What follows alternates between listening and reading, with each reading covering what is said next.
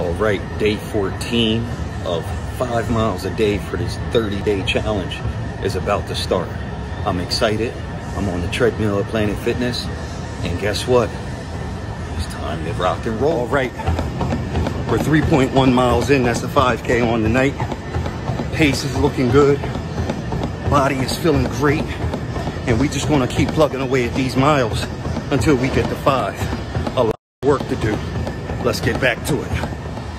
All right, another five miles is in the books. Day 14 is done over and we don't have to look back in the past because we're gonna look forward to the future because tomorrow we're gonna do another five all over again for day 15 of 30 for the five miles a day for 30 day challenge. Let me tell you, some days, yes, I may feel like, nah, I'm not gonna do it today. And that's the day that I let that weakness go. I release it, I get after it, and then I start striving for excellence. So keep on with your journey, because I'm gonna definitely keep on with my journey. Keep inspiring, and I'll do the same.